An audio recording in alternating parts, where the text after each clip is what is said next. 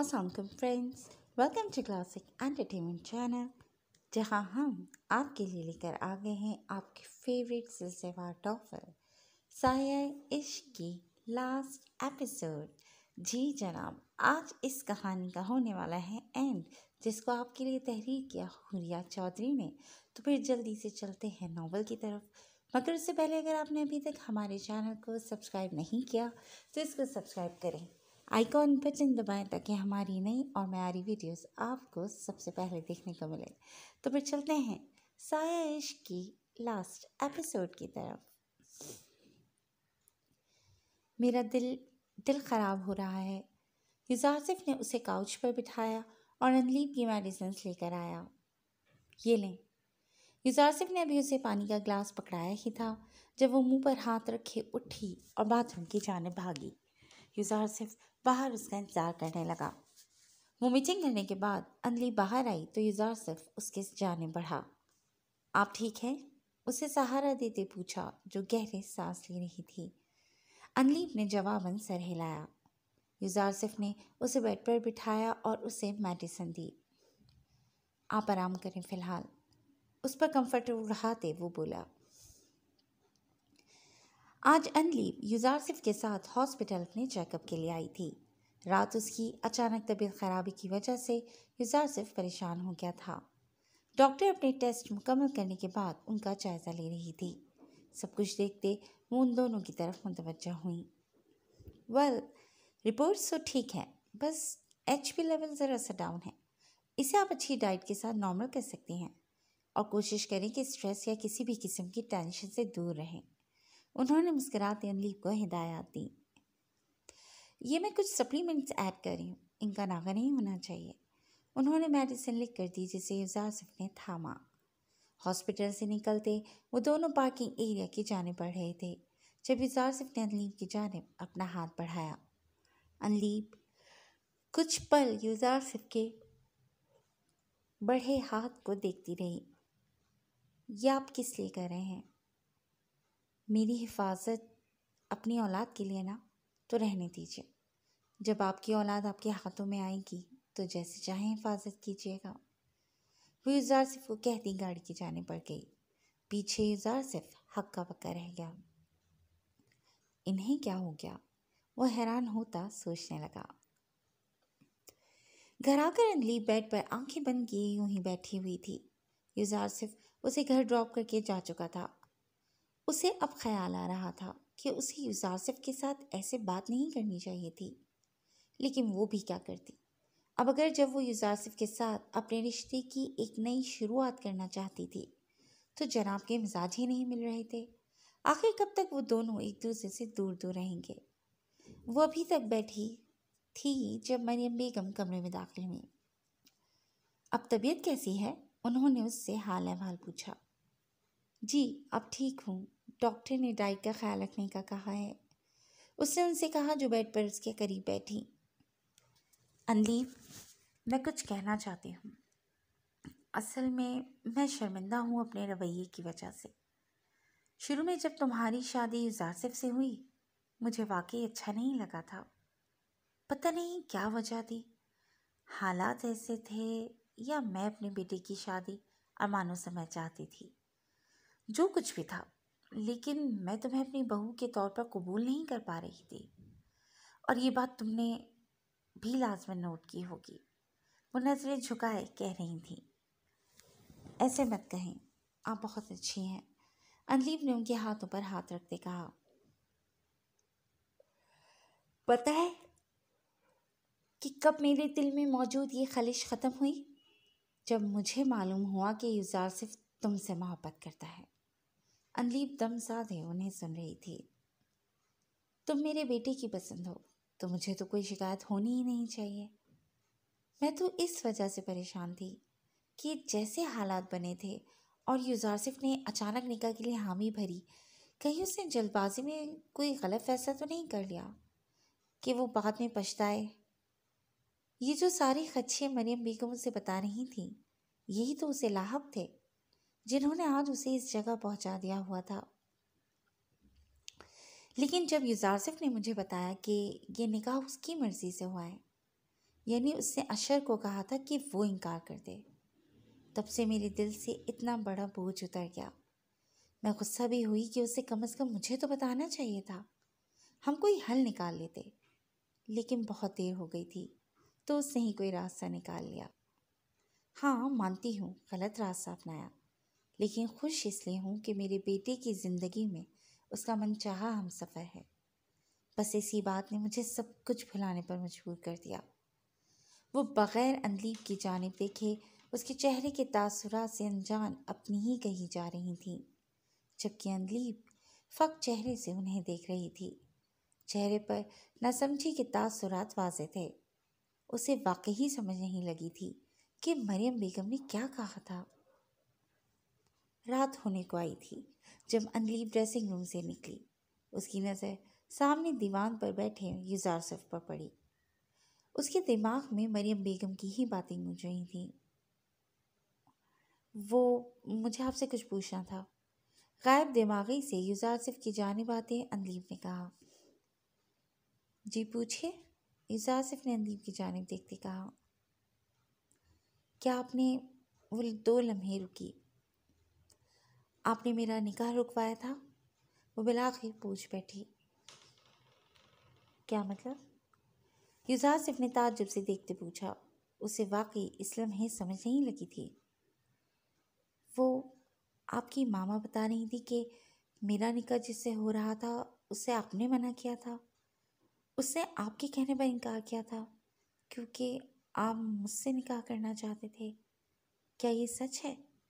उसकी हैरानगी से पूछने पर युजा आसिफ ने लब भेजे। जी, सर झुका कर वो एतराफ़ कर गया। उसने कभी सोचा भी नहीं था कि इस सिचुएशन से भी गुजरना पड़ेगा। आप कैसे ऐसा कर सकते हैं? अनलीब बेयकीनी से पूछ रही थी। अनलीब मेरी बात युजासिफ ने उसके हाथ पर हाथ रखना चाहा। क्या सुनो आपकी बात? मैं सोच भी नहीं सकती थी कि आप ऐसा कुछ कर सकते हैं। उसका हाथ झटकते वो उठ खड़ी हुई। पल भर में उसका लहजा बदला था। युजासिफ आप, आपने मेरा यकीन तोड़ा है। जिन बातों, जिन खदशात की वजह से मैं आपके और अपने रिश्ते को आगे नहीं बढ़ा पा रही थी, उसकी वजह आप ही थे? अनलीप दो कदम पीछे होते बोली। और क्या करता? आपको किसी और का होते देखता? चुपचाप खामोशी से बैठा रहता। नहीं था इतना हौसला अपनी नज़रों के सामने, अपनी मोहब्बत को किसी और का होते हुए देखने का। युजासिफ ने अपना जवाब सामने रखा, जिसे अनलीब मानने से इंकारी थी। आप अपनी मोहब्बत पाने के लिए इतने खुदगर्ज बन गए। आपने एक दफ़ा भी मेरा नहीं सोचा? आपकी वजह से। सिर्फ़ आपकी वजह से मेरे किरदार पर इतने सवाल उठाए गए। निकाह के वक्त इनकार होना आप समझते हैं कि उस लड़की के बारे में क्या कहा जाता है? नहीं, आप नहीं जानते, क्योंकि वो सब कुछ मैंने सुना है। उसकी आँखें नम होना शुरू हो चुकी थी। मैं सोचती थी कि आपको कभी गुमान तो होता होगा कि कुछ वजह होगी ज़रूर उसके पीछे। हाँ तब आपने वक्ती तौर पर नई नई मोहब्बत के जेर असर आकर हामी भर ली होगी। और यही बात यही बात मुझे आपसे दूर रखती थी। लेकिन यहाँ तो आप मेरे साथ ही खेल गए हैं। आप कैसे कैसे अपनी मोहब्बत के किरदार को सबकी नज़रों में मशकूक बना सकते हैं? आपकी मॉम मुझे तब तक नापसंद करती थी जब तक आपने उन्हें सच नहीं बताया। मुझे इस पार्टी में वहाँ सबसे ना जाने क्या क्या सुनना पड़ा कि मैं ही ऐसी लड़की हूँ। वरीशा ने ना जाने क्या क्या कहा, लेकिन मैं सब्र कर गई। कि शायद किस्मत में यही लिखा था। लेकिन नहीं, ये सब तो आपकी वजह से हुआ था। मेरे शौहर की वजह से? वो आज बोलती जा रही थी। इतने माह का दिल का गुबार आज निकलता जा रहा था। अनली क्या मुझे कुछ बोल, कहने का मौका मिलेगा? युजारसिफ ने उसकी हालत के पेश नज़र नरमी से कहा। क्या कहेंगे आप युजारसिफ अगर मैं आपको पसंद थी मेरी से आपको मोहब्बत थी तो उस दिन सबके सामने इस बात को कबूल करते मुझे अपनी बीवी बनाना चाहते थे तो इस बात को सामने रख कर निकाह रखवाते। अपने आप पर क्यों नहीं कोई उंगली आने दी आपने? सच तो यह है कि अपना किरदार बेदाग रखने के लिए मेरे किरदार को दागदार किया है आपने। उंगली से यूसासिफ की जानब इशारा करते वो कही जा रही थी और वो खामोशी से खड़ा, उसके हर इल्ज़ाम को खंदा पेशानी से बर्दाश्त कर रहा था। जानता था कि इस वक्त कुछ भी कहना फजूल था, क्योंकि इस वक्त अनलीब समझने की हालत में नहीं थी। यूजारसिफ के खामोश रहने पर अनलीब रोते हुए ड्रेसिंग रूम की जाने बढ़ी दीवार के साथ लगी वो मुसलसल रोने में मसरूफ़ थी। उसे आज सारी पुरानी बातें याद आ रही थीं, जो वो भुलाए बैठी थी। दोनों हाथों से सर को पकड़ते उसने खुद को रिलैक्स रखना चाहा। जबकि दूसरी जानब युजार सिर्फ़ सर हाथों में गिराए। इस बिन बुलाई मुसीबत के बारे में सोच रहा था। आगे क्या कम उनके दरमियान फासले थे, जो मज़ीद बढ़ गए थे। दोपहर का वक्त था, जब अनदीप किचन में दाखिल हुई तो मरियम बेगम को कुछ बनाते पाया। अरे अनदीप, आओ, कुछ खाओगी? उन्होंने अनदीप से अंदर आते पूछा। नहीं, शुक्रिया, आप इस वक्त यहाँ? उसने उनकी मौजूदगी के मुतालिक दरियाफ्त किया, जिस पर वह हंस पड़ी। हाँ ना, आज यूजा सिर्फ़ कुछ खाए पिए बगैर ही ऑफ़िस गया है। बस उसी के लिए लंच तैयार कर रही थी। अहमद ने आज लेट जाना है तो कह रहा था कि बना दें, कुछ ले जाऊँगा। वो नकेट्स को पेपर पर रखते हुए कह रही थी अनली खामोश रही। मॉम, रेडी हो गया सब कुछ? तैयार सा अहमद किचन में दाखिल हुआ। हाँ बस जूस पैक करने लगी हूँ, वो मसरूफ़ सी बोली। अरे अनलीब क्या कर रही है? मेज़ के गिर्द मौजूद कुर्सी पर बैठते उसने अनलीब से पूछा। बस, रुमैसा भाभी नूर और शहरियार के साथ, उनके स्पोर्ट्स डे पर उनके साथ कॉलेज गई हुई हैं। तो यूँ ही बोर हो रही थी, इसीलिए आंटी के पास किचन में आ गई। बालों को कानों के पीछे करते वो नरमी से गोया हुई। हम्म तो ये बात है।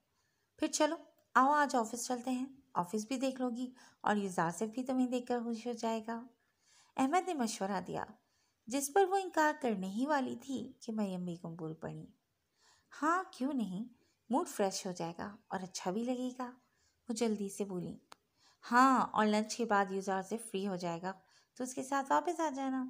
अहमद ने अब हतमी लहजे में कहा तो वो मज़ीद कुछ कह ना सके। अहमद उसे साथ लिए ऑफ़िस की बिल्डिंग के अंदर दाखिल हुआ। ये डैड और चाचू ने मिलकर बनाया था। युजार सिर्फ़ अपना ऑफ़िस अलग कर चुका है। लेकिन चूँकि वह अभी मुकम्मल नहीं हुआ, इसीलिए उसकी ज़्यादातर मीटिंग्स अभी यहीं होती हैं। लिफ्ट के अंदर अहमद अदीब को साथ साथ बता भी रहा था, जिस पर वो सर हिला रही थी। लिफ्ट से बाहर आते अनलीब इस पुर आसाइश ऑफ़िस को देख रही थी।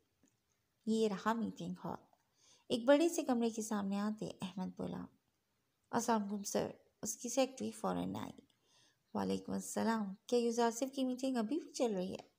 उसे अंदर जाने से पहले दरियाफ़ किया। मीटिंग ख़त्म हुई तो दस मिनट हो गए हैं। वो शायद अपने क्लाइंट के साथ चैट में मसरूफ़ हैं। सेक्रेटरी ने मुस्कुराते हुए कहा, सर, दो मिनट। वनलीब के साथ अंदर जाने लगा जब उसने अहमद को पकारा अनलीब, आप चली जाए, मैं अभी आया। अहमद ने अनलीब को कहा और ख़ुद सेक्रेटरी की जाने मुतवजा हुआ। अनलीब सर हिलाती दरवाज़ा खोलते अंदर कदम रखने लगी। जब सामने का मंजर देखती, वहीं खड़ी रह गई। युजासिफ किसी लड़की के साथ था और उससे बातें करते उसके होठों पर मुस्कुराहट थी। उससे मज़ीद एक कदम भी ना उठाया गया। मीटिंग ख़त्म होने के बाद युजार सिर्फ़ यूँ ही फाइल्स का जायज़ा ले रहा था, जब दरवाज़ा खोलकर कोई अंदर दाखिल हुआ। क्या मैं अंदर आ सकती हूँ? वो दरवाज़ा हाथ में पकड़े पूछ रही थी। जी आइए। युजार सिर्फ़ कहते हुए उठ खड़ा हुआ। लगता है आपने मुझे पहचाना नहीं। वो मुस्कुराते हुए बेतकल्लुफ़ी से कहने लगी। पाँच मिनट पहले की मीटिंग में हुई मुलाकात को कैसे भूल सकता हूँ? युजार सिर्फ़ के कहने पर वह हँसी। देखा, आपने वाकई नहीं पहचाना। उसके फिर कहने पर युजार सिर्फ़ के माथे पर सिलवटें नुमाया हुई। कुछ देर पहले अगर आपको याद हो कि आप मेरी गाड़ी से हिट हुए थे और खुशकिस्मती से कोई इंजरी नहीं आई थी। तब आप काफ़ी टेंस लगे थे। युजार सिर्फ़ को याद ना आया तो वो खुद ही बताने लगी। जी, याद आ गया बट वो ऐसी मुलाकात नहीं थी कि मैं याद रखता, इसीलिए पहचान नहीं पाया। उसे बैठने की ऑफ़र करते ही युजार सिर्फ़ ने कहा, जी, बस, वैसे आज की मीटिंग में सामना हुआ तो लगा कि आपको कहीं देखा है और फिर याद आ गया। By the way I am Sumbal बैठते हुए वो मुस्कुराते कहने लगी। क्या लेंगी आप? चाय या कॉफ़ी? यूजा आसिफ ने पूछा। अरे नहीं, मैं बस अभी अपनी टीम के साथ जाने वाली हूँ। इसकी कोई ज़रूरत नहीं। सुंबल ने फ़ौरन मना किया। उस दिन के लिए माजत मैं गलती से आपकी गाड़ी के सामने आ गया। असल में ज़रा टेंस था इसे ख्याल ही नहीं रहा। युजार सिर्फ़ ने उस दिन का हवाला देते कहा। उस दिन से मुझे सिर्फ़ एक बात का तजस्स था कि पर्सनल हो जाएगा, लेकिन मैं जानना चाहती थी कि आप किस वजह से परेशान थे? कि आपको इतना होश भी नहीं था कि गाड़ी आपको बहुत बुरी तरह हिट करने वाली थी? वो हैरानी और खुशी के मिले जुले तासुरात समेत पूछ रही थी। असल में, मैं तब अपनी वाइफ टू बी की वजह से कुछ परेशान था।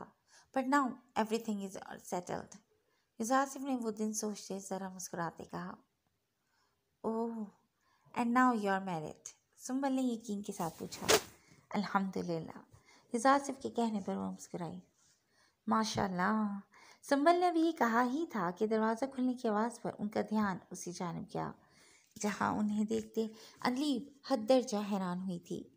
वहीं अनलीब को अपने सामने ऑफ़िस में देखते युजा सिर्फ़ शौक हुआ था। अनलीब आप यहाँ? अपनी जगह से खड़े होते युजार सिर्फ़ ताजुब से पूछने लगा। अनदीप अंदर आ चुकी थी। वो अहमद भाई साथ लाए थे। युजासिफ को जवाब देते उसे न जाने क्या हुआ कि सब कुछ वहीं छोड़ती बाहर जी जाने पड़ी युजासिफ हैरत से उसे जाता देखने लगा।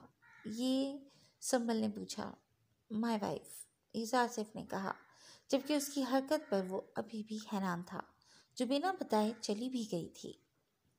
नाइस टू मीट यू मैं चलता हूँ, उसे अलविदाई कलमात कहते युजासिफ मीटिंग हॉल से बाहर निकला। वहाँ किसी से संदीप के मुतालिक पूछते वो नीचे की जानब दौड़ा। एक तो उसके आने का भी मालूम नहीं था और दूसरा यूँ बिना बताए कोई बात के वापस जाना, जा रही थी। ग्राउंड फ्लोर पर आते यूज़र सिर्फ़ अनलीप बाहर जाते दिखी, जबकि दूसरी जानब अनलीप तेज से इस कदम उठाती ऑफ़िस से निकलती रोड की तरफ़ जा रही थी। उसे न जाने अचानक हुआ क्या था? बस वो यहाँ से चली जाना चाहती थी। युजार सिर्फ़ वो लड़की युजार सिर्फ़ की मुस्कुराहट सब कुछ सोचते उसका पाँव लड़खड़ाया। संभाल कर यार युजार से फ़ौरन उसे था अपनी जानब खींच गया साफ़ दिखाई दे रहा था कि वो बेध्यानी से चल रही है। छोड़े, उसे अपना आप छुड़वाना चाहा। जा किधर रही हैं? युजार से अपने गिरफ्त ढीली करते पूछा। मुझे घर जाना है। चले आए मैं लिए चलता हूँ। मुझे आपके साथ नहीं जाना। फिर किसके साथ जाना है? मैं अकेली जा सकती हूँ। अकेली है से पूछा गया। जी था मुझसे कहा गया। हुआ क्या है आपको? इजाज सिर्फ़ ने दरियाफ़ करना चाहा। नहीं मालूम। वो अभी भी मुँह फेरे हुए थे। मुझे क्यों लग रहा है कि आप जलस हो रही हैं? युजासिफ के कहने पर लीप को मज़ीद गुस्सा आया। युजासिफ ने बमुश्किल अपनी मुस्कुराहट दबाई। क्या आपको मुझ पर भरोसा नहीं है? युजासिफ के प्यार से पूछने पर अंदीप उसकी जानब देखने लगी। अगर भरोसा ना होता तो जैसे आप से कह रहे हैं ना, वो शक करना होता। वो कहते हुए फिर मुँह फेर चुकी थी। लेकिन आपको जालस भी नहीं होना चाहिए, क्योंकि मैं सिर्फ़ आपका हूँ। अनलीप का चेहरा अपनी जानब करते ही उजासिफ ने कहा, बड़ी जल्दी इन्हें एहसास हो गया, क्योंकि पिछले कुछ अरसे से आप ये भूले हुए थे। मुझे घर जाना है। पहली बात तंजिया लहजे में कहती उसका मूड फिर बदल चुका था। आए चलें। मिजाजिम ने कहते उसे अपने साथ दिया।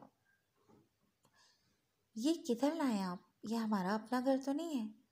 गाड़ी में से सामने नज़र आते घर को देखते अंतिम ने कहा, जानता हूँ, ये मेरे एक दोस्त का घर है, जो दो दिन पहले आउट ऑफ़ कंट्री गया है। उसको कुछ डॉक्यूमेंट्स चाहिए थे, बस वही लेने हैं। गाड़ी से नीचे उतरते युजासिफ ने कहा घर के अंदर दाखिल होते युजासिफ अपने उसी दोस्त को कॉल मिलाने लगा, जिसका घर था। मैं बेडरूम में जा रहा हूँ, किचन सामने है। अगर कुछ खाने के लिए है तो बना दें, भूख लगी है। फ़ोन को कान से हटाते युजासिफ ने जाते हुए कहा, जबकि अंदलीब इस चक्कर में युजासिफ का लंच भूल चुकी थी, जो सुबह का भूखा था। वो किचन में गई, फ्रिज में जैम, अंडे, चीज़ वगैरह सब मौजूद थे। उसने सब कुछ बाहर निकाला और कैबिनेट से ब्रेड निकाल कर चीज़ ऑमलेट वाला ब्रेड तैयार करने लगी। दस मिनट के बाद युजार सिर्फ़ नीचे आया तो अंदीप खाने की मेज़ पर प्लेटें रख रही थी। उसके हाथ में कोई फ़ाइल थी। फ़ाइल मेज पर रखते उसने कुर्सी संभाली। आप नहीं खाएँगी? सामने ट्रे में मौजूद चीज़ ऑमलेट वाला ब्रेड था, जबकि ब्रेड के कुछ स्लाइसेस के साथ जैम भी पड़ा था। वो एक बंदे की सर्विंग थी, इसीलिए युजार सिर्फ़ ने अंदीप से पूछा, मुझे भूख नहीं है। आप आराम से खाएँ। युजासिफ को खाना खाते छोड़ते वो वहाँ से हट गई। उसका इरादा घर का मुख्तर जायज़ा लेने का था। वो घर के पीछे जाने पर नहीं एक छोटे से बागीचे में थी जहाँ एक झूला भी पड़ा हुआ था। थोड़ी देर झूला झूलने के बाद वो जब उगता गई तो उठ खड़ी हुई। उसका इरादा अंदर जाकर युजारसिफ को घर चलने के कह, का कहने का था। लेकिन अंदीप जाते जाते गुलाब के फूलों को देखते वहीं रुक गई। उसने एक बड़े से गुलाब के फूल को छूना चाहा और अभी हाथ फूल पर ही था, जब पीछे से युजारसिफ ने उसे एक जानब से अपने हसार में लिया कि उसका हाथ अंदीप के हाथ पर था। अंदीप ने वहाँ से हटना चाहा, जब युजारसिफ उसकी ये कोशिश नाकाम बना गया। क्यों दूर जाती हैं आप? अपने पहलू में खड़ी, उस लड़की से वो पूछने लगा, जिसकी आँखों में वो बेरुखी साफ़ देख सकता था। अंदीप ने कोई जवाब नहीं दिया। अंदीप आज इस टॉपिक पे बात कर ही लेते हैं। क्या हल निकाला है आपने इन सारे मामला से? उसका रुख अपनी जानब करते ही आसिफ ने पूछा। यह आप पूछ रहे हैं, जो अपना फैसला सुनाना चाहते हैं, चाहे पीछे जो कुछ मर्ज़ी हो। अंदीप भी आज सारे हिसाब क्लियर करना चाहती थी। वो गुस्से से जाने लगी जब युजार सिफ ने उसे कमर से थामते अपने साथ लगाया। पीछे आपने भी तो कुछ नहीं छोड़ा था। अंदीप को युजार सिफ की यह अच्छाई बहुत बुरी लगती थी कि वो तहमुल से जवाब देता था।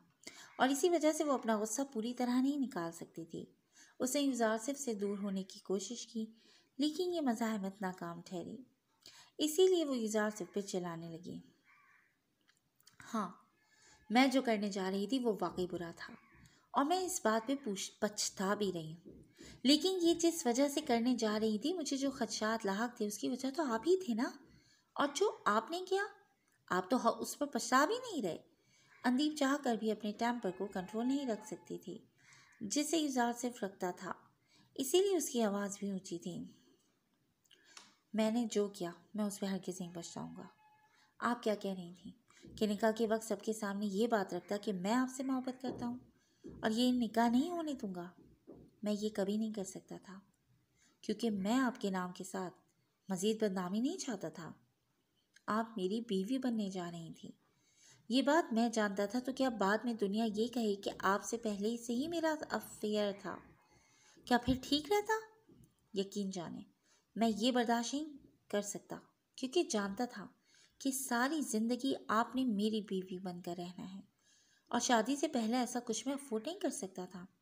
रही बात अशय की तो वो कोई बहाना ढूंढ ही रहा था। क्या आपकी फुप्पो ने अशय की माँ से कुछ कहा? जिससे वो बदगुमान हो गई और इसी बात का अशय ने फ़ायदा उठाया। अगर मैं ऐसा ना चाहता तो होना फिर भी वही था। दोनों बाजों से उसे थामे युजासिफ ने अनदीप को अपने सामने खड़ा किया हुआ था। अंदीप की आँखें उससे पहले के भीग भीगती वो फ़ौरन नज़र झुका गई। मैं से मुझे कभी मोहब्बत नाम के बारे में मालूम तक नहीं था। इस नाम, इस जज्बे से मुझे आपने रोशनास करवाया है। शुरू से ही आपकी नज़रों के मफहूम को मैं समझने से कतराती थी। तो आप, उसके पीछे भी कोई वजह थी?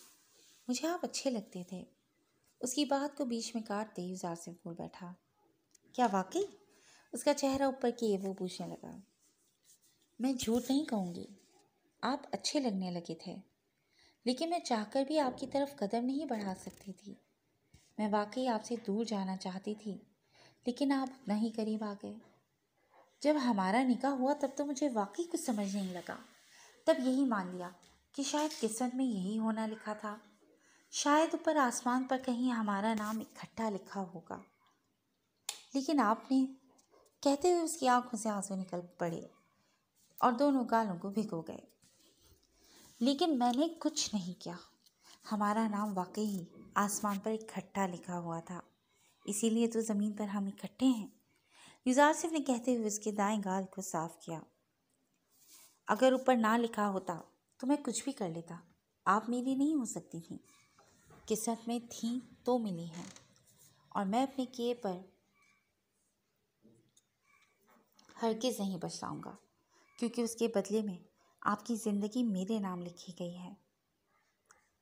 अब की बार युजासिफ ने बाई गाल से आँसू साफ़ किए। अंदीब उसकी पनाह में झेप सी गई। अंदीब ने आँखें खोलकर युजासिफ को देखा जो उसके बिल्कुल करीब उसे थामे खड़ा था और अपना हाथ युजासिफ के चेहरे पर रखा। युजासिफ ने एक हाथ से अपने चेहरे पर मौजूद अंदीब के हाथ को पकड़ा और उसके हाथों पर होठ रखे, जब अंदीप एक दफ़ा फिर रोना शुरू हो चुकी थी। मुझे माफ़ कर दें युजासिफ वो हिचकी समेत बोली, मैं जो करने जा रही थी उसके लिए माफ़ कर दें। युजासिफ की शर्ट को दोनों मुट्ठियों में दबोचे, वो कह रही थी। और फिर रोते, उसकी गर्दन में बाजू डालते, अपना सर युजासिफ के सीने पर टिका गई। कितना रोएँगी? अब बस कर दें। युजासिफ ने प्यार से कहते, उसके बालों पर हाथ फेरा। कुछ देर बाद अंदीप कुछ नॉर्मल हुई, लेकिन अभी भी वो युजासिफ के साथ लगी हुई थी। जब युजासिफ कहने लगा, उस रात आपकी बातें अधूरी रह गई थी। मैं सारी सुनना चाहता हूँ। क्या आप क्या क्या कहना चाहती हैं मुझसे युजासिफ के बोलने पर अंदीप ने सर उठाकर हैरानगी से देखा। आप सुन रहे थे? भीगी आँखों, गुलाबी गालों समेत यूँ पूछते वो युजासिफ को और भी महबूब लगी। आपने ही तो कहा था कि काश मैं सुन रहा हूँ, और फिर मैंने वाकई सुन लिया। और मैं ये सोच रहा था कि अगर अच्छा लगता तो पहले क्यों नहीं बताया? युजासिफ की बात सुनते वो दोबारा अपना सर उसके सीने पर रख चुकी थी। युजासिफ ने दोनों बाजों से उसके गिर्द हसार बनाया। मेरे साथ जो बचपन में हुआ, वो हादसा मेरी पूरी ज़िंदगी पर हावी है। उस एक हादसे ने मेरी अब तक की सारी ज़िंदगी को तबाह करके रख दिया है। बहुत छोटी थी जब अपने माँ बाप को खो दिया। सबने मुझे इल्ज़ाम दिया कि मेरी वजह से हुआ। जो जो आफत आती है, मेरी वजह से आती है। मैं हद से ज़्यादा सहमने लगी थी। बहुत जल्दी डर जाया करती थी। कोई मुझसे दोस्ती नहीं करता था। कोई मुझे अच्छा नहीं समझता था। ऐसे में बस अपिया ही थी जिनसे प्यार मिला। माँ का नहीं, लेकिन माँ जैसा। बहन का नहीं, लेकिन बहन जैसा। दोस्त का नहीं, लेकिन दोस्त जैसा। शायद अगर वो भी ना होती तो अदीब का इससे भी बुरा हाल होता। मैं शुरू से ये बात सीख चुकी थी। कि मैं कोई ख्वाब नहीं देख सकती, क्योंकि मेरी इतनी औकात नहीं है। और फिर एक दिन मेरी ज़िंदगी में वो भी आया, जिससे नाप से सामना हुआ। वो आँखें बंद किए बोल रही थी और युजार सिर्फ़ सुन रहा था। आप, आपका मेरी तरफ़ रुझान। शुरू में लगता कि शायद एक एहसास कमतरी में मुबतला लड़की से हमदर्दी है। लेकिन नहीं, हर दफ़ा आपसे सिर्फ़ आपसे ही टकराव क्यों? आप ही क्यों मदद को आते थे? मैं वो लड़की थी जिसे बोलना भी ढंग से नहीं आता था। और आप जैसे खूबरू मर्द के मुकाबल होना मुझे कबूल नहीं था। मैं आपसे दूर हो जाना चाहती थी, क्योंकि आपसे डर लगता था। और वही हुआ। आपको मुझसे मोहब्बत हो गई। ये बात मुझे बर्दाश्त नहीं थी। किसी को मुझसे मोहब्बत नहीं हो सकती। मैं मोहब्बत के काबिल लड़की नहीं थी। बचपन के असरात अभी भी मेरे जहन पर छाए हुए थे। मैं कम अज़ कम उस शख्स की ज़िंदगी में शामिल होकर उसकी ज़िंदगी तबाह नहीं कर सकती थी, जो मुझसे मोहब्बत करने लग गया था। इसीलिए सोचा कि अगर शादी करनी है तो वहाँ करूँगी जिसे मुझसे मोहब्बत ना हो। मगर आप वहाँ भी आ गए और धोखे से अपना नाम करवा लिया। इस अरसे में उसके आखिरी जुमले पर युजा से मुस्कराया। शादी के बाद वाकई आपने मुझे अपने रंग में ढाल लिया था। मुझे अतमाद सिखाया, खुद पर यकीन करना सिखाया। मेरा रुक रुक कर बोलना ख़त्म हुआ, लेकिन सबकी बातों की वजह से परेशान हो जाती थी। कहीं कहीं डर भी लगता था कि आप, आपके छूट जाने का। और उस दिन उस दिन जानती हूँ, गलती मेरी थी और आपका गुस्सा जायज़। जब आपने छोड़ देने का कहा तब दिल को कुछ हुआ था। नहीं, मुझे आपके साथ रहना था। मैं हर वो काम करने लगी जो आपको अच्छा लगता था। उन दिनों मैंने अपनी मोहब्बत को सही मायनों में पहचाना था। और फिर जब आप बात नहीं करते थे तो गुस्सा आता कि ऐसे भी क्या नाराज़गी आखिरी बात पर उसका लहजा रूहान सा हुआ। युजारसिफ ने अंदीप के चेहरे को दोनों हाथों में भरा और उसकी आँखों में देखने लगा। ज़्यादा कुछ नहीं कहूँगा। बस इतना कि आइंदा मुझसे बदगुमान होने से पहले मेरे से बात ज़रूर कीजिएगा। और ये बात तो जहन नशीन कर लें कि युजारसिफ सिकंदर, कभी आपसे दस्तबरदार नहीं होगा, चाहे कुछ भी हो जाए।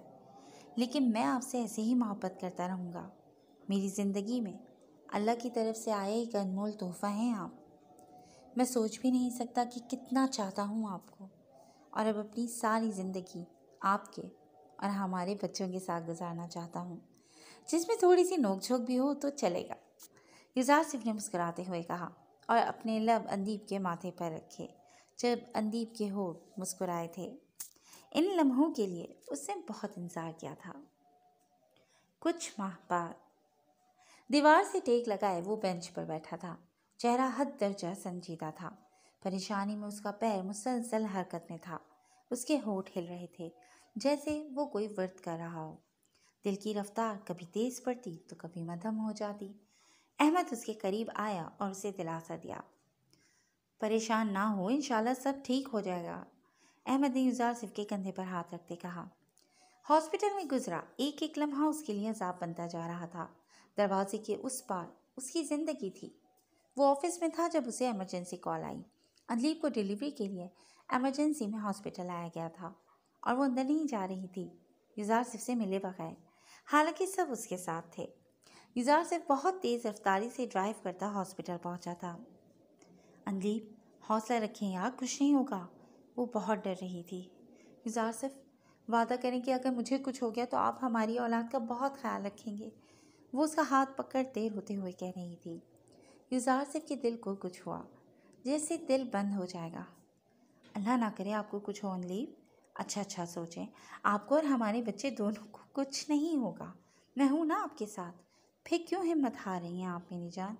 उसके बाद सहलाते वो कह रहा था। और अभी तक अंदर से कोई खबर नहीं आई थी। कोई इस वक्त युजार सिफ की हालत को देखता। आँखें बंद किए वो खुद को काबू में रख रहा था। या अल्लाह, तू ही मदद करने वाला है। इस मुश्किल वक्त में मेरी मदद फरमा। आँखें बंद किए वो दिल में अल्लाह को पुकार रहा था। मरियम बेगम अपने बेटे की हालत को बखूबी समझ सकती थी। मुबारक हो, बेटा हुआ है। कहीं जाके डॉक्टर ने बाहर आकर खुशखबरी सुनाई थी, जिसे सुनकर सब मुस्कुरा उठे, सिवाय हिजार सिफ के। डॉक्टर, मेरी वाइफ, वो ठीक है ना? उसे सबसे ज़्यादा हर चीज़ से ज़्यादा अनलीप की फ़िक्र थी। जी जी, अल्हम्दुलिल्लाह, माँ और बच्चा दोनों ठीक हैं। डॉक्टर के कहने पर अब जाके उसने शुक्र का सांस दिया। सब उसे मुबारकबाद दे रहे थे। युजार सिफ का बेटा हुआ है। सुन रहे मेरा पोता इस दुनिया में आ गया। जहाँ बाकी सब खुश थे, वहाँ मरियम बेगम की खुशी दीदनी थी। वो खुशी से सिकंदर साहब को बता रही थी। जहाँ बाकी सब अंदर जा रहे थे, वहीं युजार सिर्फ़ शुक्राने के नफिल अदा करने गया था।